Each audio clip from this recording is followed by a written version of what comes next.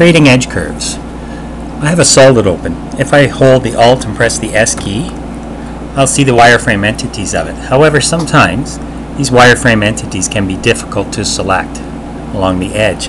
So what we want to do is create edge curves. I should set a new color and level. To create an edge curve, we come up, select Create,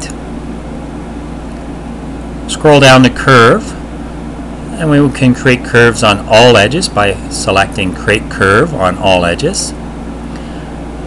I need to activate my solid selection. This will let me select a face directly. This will select the entire body, so I'm going to turn it off. If I want to create an edge curve on this surface, I can select it. Or this surface, I can select it.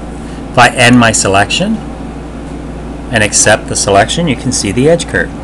Turn the shading off, you can see it easier. I can also create an edge curve just on one edge.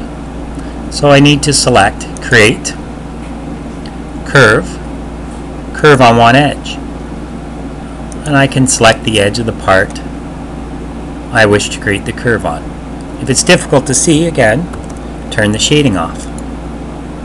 Accept my selection, and that's how I create edge curves.